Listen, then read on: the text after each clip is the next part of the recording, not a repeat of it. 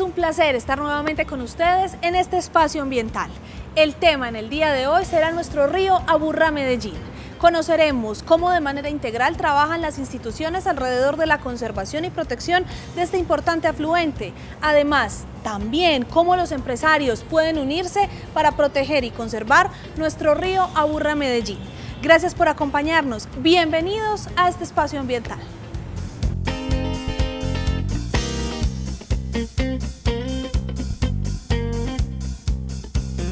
En un programa anterior les contamos cómo fue declarado como Reserva Forestal Protectora el Alto de San Miguel y la importancia de este sector.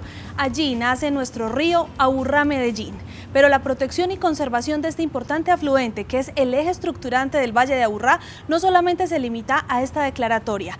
Alrededor de este río se ha creado toda una sinergia institucional que permite su conservación, recuperación y protección.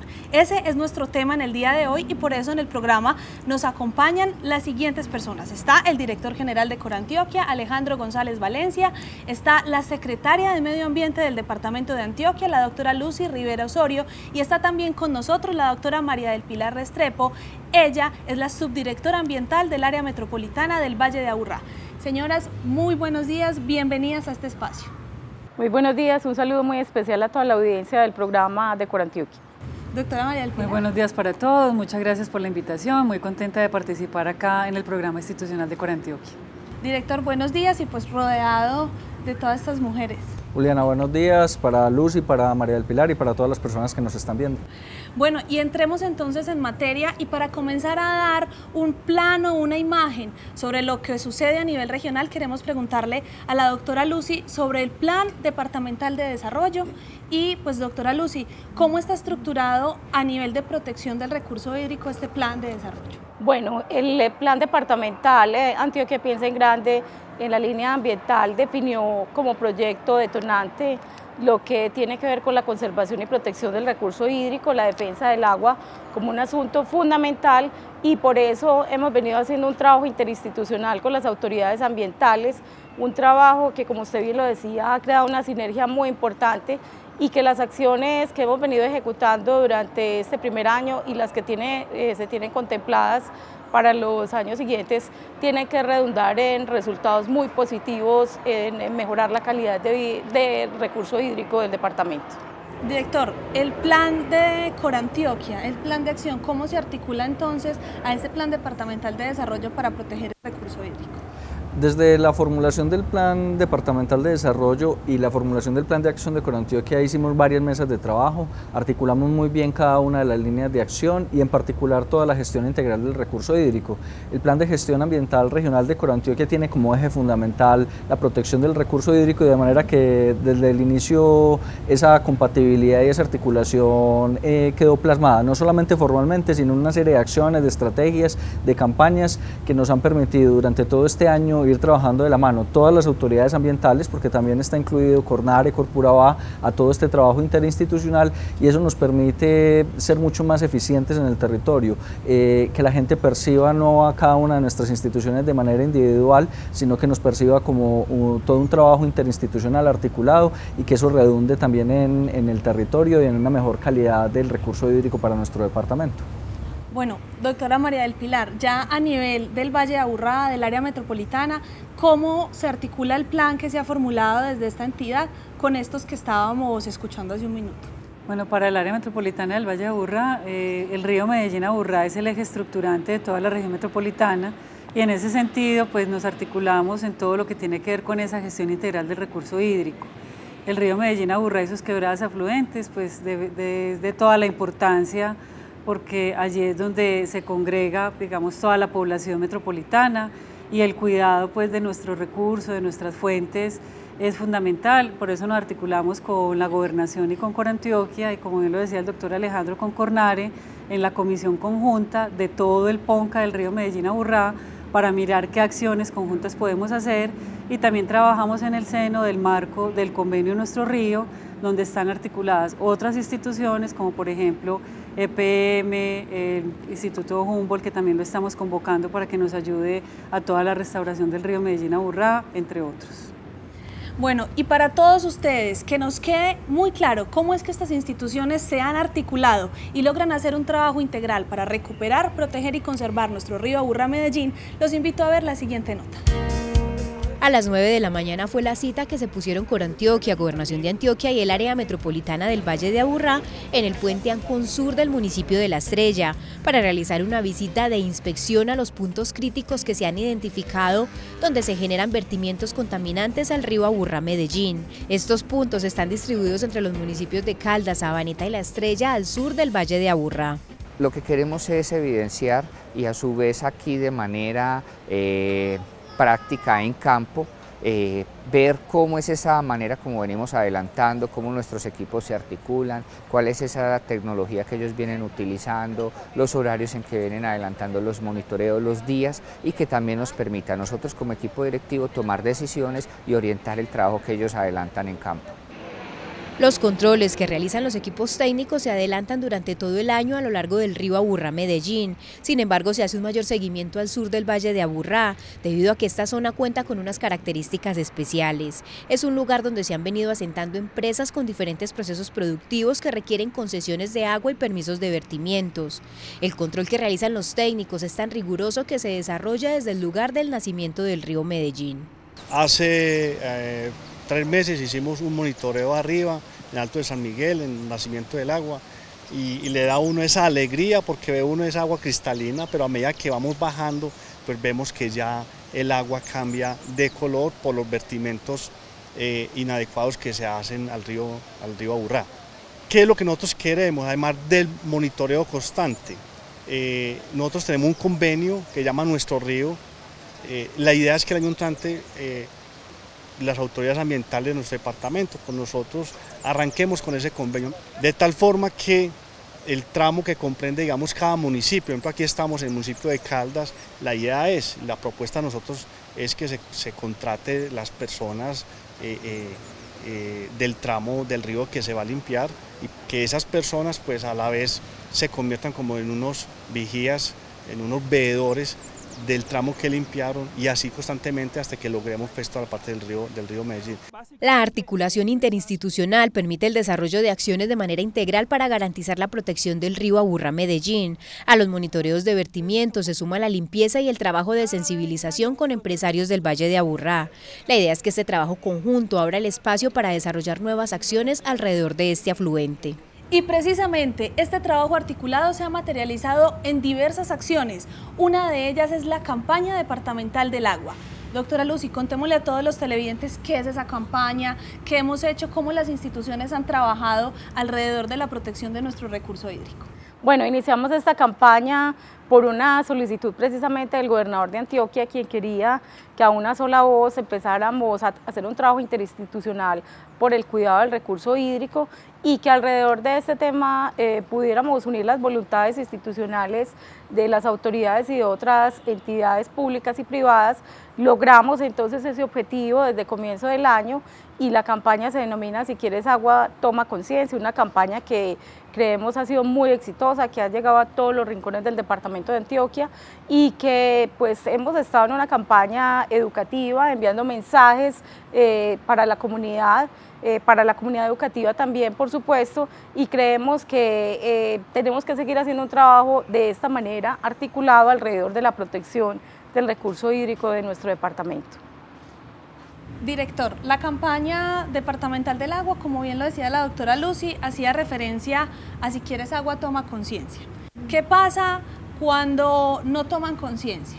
¿Qué pasa con esas empresas ya entrando en el tema de autoridad ambiental? Pues que a pesar de los llamados, del trabajo educativo, de la sensibilización que hacen todas estas entidades, pues no captan el mensaje. ¿Cómo entra ahí a funcionar entonces la autoridad ambiental para proteger pues, nuestro recurso hídrico y sobre todo el río Aburrá Medellín? Yo creo que es importante explicarle a la gente que hay una estrategia, digamos, lo que tiene varias, líneas de trabajo. Una, y la principal es todo el tema educativo, poder explicar a la gente de manera amable y tratar de que todos entendamos la importancia de no solamente del río Aburrá Medellín, sino de todas nuestras fuentes hídricas.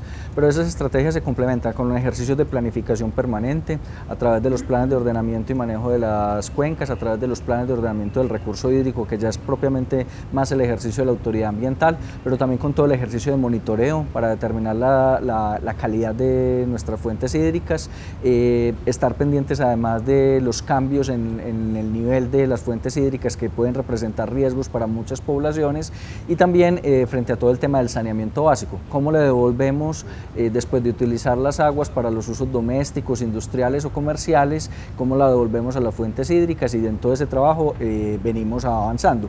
Y en particular está el ejercicio de la autoridad ambiental, que es un ejercicio complejo porque a nadie le gusta que le estén monitoreando y revisando en particular su actividad productiva. Y se ha presentado un fenómeno que es normal en las grandes ciudades, es que en la medida que va creciendo, se van consolidando los asentamientos, pues las industrias tienden, tienden a irse a los extremos. Por eso tenemos una concentración en Sabaneta, La Estrella y Caldas de nuevos asentamientos que lamentablemente muchos de ellos, digamos, lo piensan, que por salirse de la zona propiamente de Medellín, piensan que van a tener, van a ser más laxas las leyes, pero la ley es la misma en todo el territorio nacional. Entonces ahí es donde se empiezan a manifestar una serie de dificultades, de contratiempos, a partir de un fenómeno además muy particular en, en Caldas y La Estrella, y es de construcción de bodegas. Eh, en los últimos años se han venido construyendo un número muy importante de centros industriales de bodegas y eso hace que haya muchas nuevas industrias, nuevas actividades industriales, comerciales que han presentado una serie de afectaciones ambientales y es las que normalmente el ciudadano del común ve como las coloraciones en el río, pero realmente son vertimientos de todo tipo a las fuentes hídricas porque muchos de estos lugares no están preparados para recibir industria. Es muy diferente hacer una bodega a hacer una empresa. Entonces se han presentado en los últimos años o se ha manifestado esa serie de problemáticas y eso ha obligado a que las autoridades ambientales eh, tengamos una estrategia, digámoslo, mucho más detallada, mucho más precisa y rigurosa con el asentamiento de estas empresas, el monitoreo a ellas y que podamos controlar, ojalá llegáramos a evitar, pero por ahora controlar los vertimientos y en particular las coloraciones que se hacen en el río Aburra Medellín, que nos preocupan a todos, que le preocupan a los ciudadanos y que el lado positivo de eso es que ha despertado una nueva conciencia en la ciudad de entender que este río es de todos nosotros y que lo tenemos que proteger a sí mismo, que es una responsabilidad no únicamente de las autoridades ambientales o de la gobernación de Antioquia, sino que es un papel de toda la ciudadanía. Doctora María del Pilar, el director mencionaba en el tema de autoridad ambiental frente a la protección y conservación del río Aburrá Medellín una estrategia más rigurosa. Cuéntenos cómo ha sido esa estrategia y esa articulación entre todas las entidades. Tengo entendido que hay una unidad de reacción, que hay equipos que trabajan incluso en la noche, en la madrugada y se ha hecho de manera coordinada entre todas las autoridades ambientales. Sí, lo, positivo de todo esto es la visión que tenemos conjunta de cuenca hidrográfica. Entonces, eh, la labor que hacemos de manera eh, coordinada con Corantioquia es precisamente atender estas problemáticas de vertimientos, por ejemplo, de color al río Medellín o, quebradas afluentes. Y lo fundamental es trabajar en equipo. ¿Por qué? Porque ese borde urbano rural a veces es complejo en cuanto a red de drenaje se refiere. Entonces, si nosotros, por ejemplo, tenemos una industria sentada, como lo decía ahora Alejandro, pero está vertiendo en un punto que más abajo va a estar el drenaje, pues es difícil identificar muchas veces el origen. Entonces, esas comisiones técnicas que van de manera conjunta a revisar dónde se origina la problemática, a veces puede que el vertimiento salga en zona urbana, o sea, jurisdicción de área metropolitana, pero definitivamente el origen es en zona rural que compete a Corantioquia. Nosotros estamos todos los días en esta labor, eh, en diferentes horarios, de hecho, desde que estamos trabajando eh, en, este, en esta contingencia, por decirlo así, de coloración, no se han vuelto a presentar sucesos de coloración al río porque estamos invirtiendo la relación de eh, demanda de la comunidad, entonces nosotros íbamos con nuestra unidad de emergencias, eh, acompañados por Corantioquia, y en los lugares donde presta servicios CPM, acompañados de la empresa prestadora de servicios, hemos hecho también acercamientos con los empresarios, esto ha sido muy importante, porque digamos históricamente qué es lo que ha sucedido. Nosotros las fuentes de agua las veíamos como donde arrojábamos los residuos.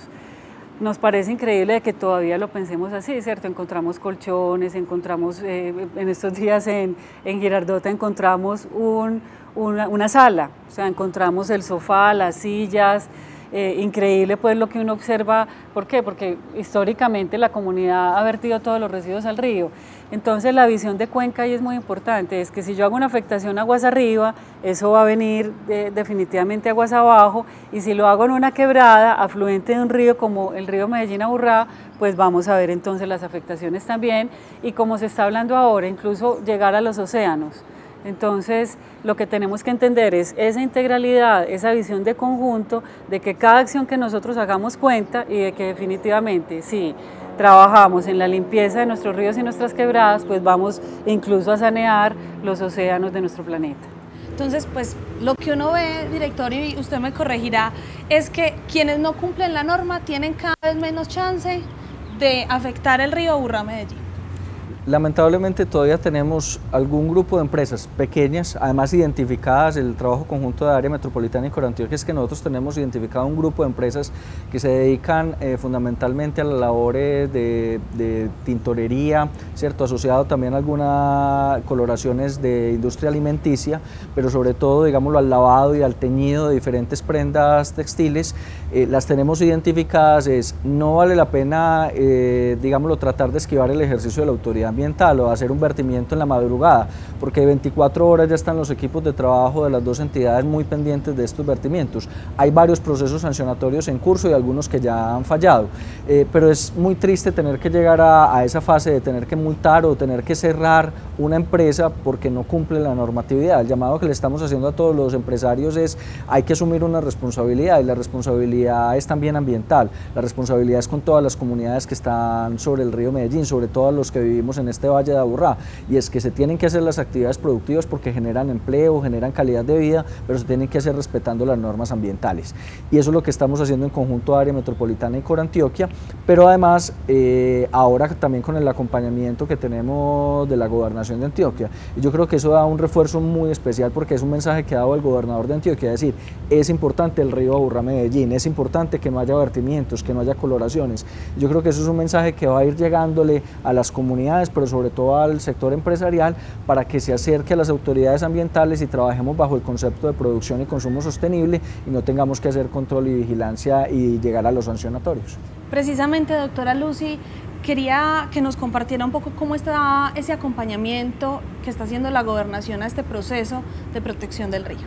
Bueno, nosotros iniciamos este proceso desde la formulación del plan de desarrollo Hemos encontrado un espacio muy importante de trabajo con las autoridades ambientales y pues iniciamos unas jornadas eh, de campo, por decirlo de alguna manera, eh, iniciamos unos recorridos, vamos a hacerlos durante todo el trayecto del río Aburrá Medellín, de tal manera que podamos identificar cuáles son los puntos críticos, cuáles son las acciones de control que se vienen haciendo allí y cómo podemos ir mejorando esta labor. Seguramente se viene haciendo un trabajo muy importante desde cada una de las entidades que tienen que ver con, con este tema, pero nuestra preocupación sigue siendo cómo seguimos difundiendo estos mensajes hacia la comunidad, hacia el sector empresarial, hacia el sector productivo, cómo seguimos acompañando esta labor de monitoreo, de conservación y protección de nuestro recurso hídrico. Es una tarea permanente y en la que pues tenemos trazado desde el plan de desarrollo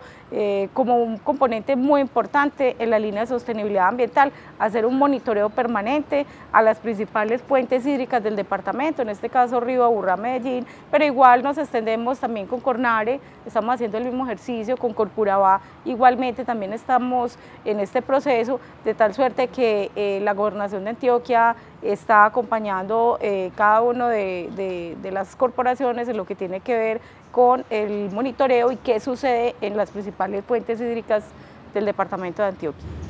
Tanto el área metropolitana del Valle de Aburrá, en cabeza de la doctora María del Pilar, la gobernación de Antioquia a través de la doctora Lucy Rivera, secretaria del Medio Ambiente, y desde Corantioquia a través del director general, han hecho un llamado para que los empresarios, principalmente, se vinculen a la protección del río Aburrá Medellín. Pero queremos que todos ustedes vean que es posible hacer producción sostenible sin afectar nuestro principal afluente. Vean la siguiente nota para que miren cómo un empresario ha logrado ceñirse a la norma y ser productivo. Estos funcionarios de Corantioquia y el área metropolitana del Valle de Aburrá madrugan a las 3 de la mañana para identificar los lugares donde se generan afectaciones al río Aburrá Medellín, como vertimientos o coloraciones en su cauce. Ha habido la necesidad de trabajar, de articularnos para poder identificar e individualizar usuarios que eventualmente puedan generar descargas eh, con coloración o con un grado de contaminación afectando el recurso hídrico, afectando el río, el río Aburrá. Entonces la alerta se genera cuando ve el color diferente en el cuerpo de agua. Gracias a las denuncias ciudadanas que llegan a la corporación y en su ejercicio de autoridad ambiental, ambas entidades realizan estos operativos que permiten identificar a los posibles responsables de los vertimientos e iniciar un proceso sancionatorio. Con hechos vinculantes, ingresar al establecimiento, eh, hacer eh, recolectar muestras, recolectar pruebas para nosotros poder tener elementos de, juicio técnico, jurídico para procesos eh, sancionatorios. Pero no solo se trata de que la autoridad ambiental sancione, también es responsabilidad de los ciudadanos y el sector industrial realizar los trámites ambientales necesarios para aportar al cuidado del recurso hídrico. Aquí pueden ver el agua donde, está, donde viene de la planta y pueden ver el proceso final de lo que hace este, este aparato. Ahí vemos que se produce una reacción eléctrica, hay unas cargas que hacen una separación del agua, de los materiales que hay dentro del agua para, para ya hacer un manejo y acabarlos de separar y poder vertir el agua por un lado y sacar toda la suciedad eh, por otro lado. El mundo de hoy en día ya eh, exige que tengamos una conciencia ambiental de sostenibilidad las empresas tienen que irse acogiendo a todos estos procesos de hacer su parte productiva, teniendo en cuenta el medio ambiente y dándole un tratamiento final al agua para disposición. Instrumentos de monitoreo ubicados estratégicamente, registro fotográfico, cámaras infrarrojas, observación directa y hasta un vehículo aéreo no tripulado tipo dron son las herramientas que Corantioquia y el área metropolitana utilizan para realizar los constantes monitoreos al río Aburrá Medellín. Hemos visto cómo trabajan de manera integrada las instituciones y las autoridades ambientales en el departamento para proteger nuestras fuentes hídricas y sobre todo el río Aburrá Medellín. También hemos visto que es posible hacer una producción sustentable sin afectar nuestras fuentes hídricas. Ahora, ¿qué sigue en este proceso de sinergia interinstitucional por la protección del río Aburrá Medellín? Le trasladamos esa pregunta entonces a la doctora María del Pilar, subdirectora ambiental del área metropolitana del Valle de Aburrá. Bueno, fundamental seguir trabajando en equipo, de manera coordinada como lo estamos haciendo hasta ahora. Eh, como área metropolitana tenemos unos grandes retos y es los objetivos de calidad del río, que ya el año entrante vamos a citar a todos los actores del río Medellín Aburrá para que concertemos esos objetivos de calidad. Entonces ahí va a ser muy importante toda esta labor de corresponsabilidad que estamos trabajando y cómo podemos eh, armonizar también esos objetivos de calidad con el plan de ordenamiento del recurso hídrico que también está en construcción y con toda eh, la actualización del PONCA que está liderando Corantioquia en este momento para que esos instrumentos de planificación se materialicen y lo podamos también concretar en nuestro plan quebradas, donde hemos priorizado 15 de las quebradas afluentes en una labor también armónica con todas las instituciones para dejar, ojalá al final del 2019, esas quebradas totalmente intervenidas, saneadas y que sí podamos entonces apuntarle definitivamente a toda la conservación de nuestros recursos hídricos. Doctora Lucy, desde la Gobernación de Antioquia y la Secretaría del Medio Ambiente, ¿qué sigue en este trabajo? Usted mencionaba, por ejemplo, la articulación con las otras dos autoridades ambientales. Cuéntenos a todos los televidentes cuál es el siguiente paso. Bueno, no, aquí hay mucho por seguir haciendo, un trabajo eh, que tiene que seguir profundizándose. Además del trabajo interinstitucional, considero muy importante seguir profundizando el trabajo de educación ambiental que es fundamental que podamos llegar a cada uno de los ciudadanos eh, del departamento de Antioquia y en especial de los del área metropolitana con estos mensajes de cuidado, de responsabilidad eh, con, el medio ambiente en general, pero en este caso pues sobre el recurso hídrico, seguir generando espacios de discusión en, Antioquia. En próximos días tendremos la Cumbre del Agua, que seguramente va a ser un espacio muy importante y donde se van a debatir todos estos temas, pero además eh, seguir también con la campaña del agua Si quieres agua, toma conciencia. Ahí eh, para el próximo año tenemos unos mensajes, igualmente una campaña educativa, llegaremos a todas las instituciones educativas del Departamento de Antioquia, seguiremos en los medios de comunicación, porque definitivamente aquí es una tarea incansable, permanente, y estamos totalmente dispuestos desde la Gobernación de Antioquia. Este es un tema de bastante preocupación del gobernador y que nos ha pedido que asumamos el acompañamiento y el liderazgo de la mano de las autoridades ambientales. Así que estamos listos para seguir acompañando este proceso. Bueno, director, y para los 80 municipios que son jurisdicción de Corantioquia, que siguen este tema y en este trabajo articulado. Eh, sigue un proceso eh, continuo de planificación del recurso hídrico. Hemos tenido el acompañamiento en particular aquí en el Valle de Aburrá de ProSur y de ProAburrá Norte, que son dos instancias muy importantes que agremian y aglutinan a una parte importante del sector productivo, pero necesitamos que los empresarios adquieran esa conciencia, que no intenten, digámoslo, buscar el esguince a la norma, sino que le juguemos limpio al medio ambiente, que las autoridades ambientales no solamente estamos para regañar y sancionar, sino también para acompañar, para asesorar, pero necesitamos hacer esa labor en conjunto.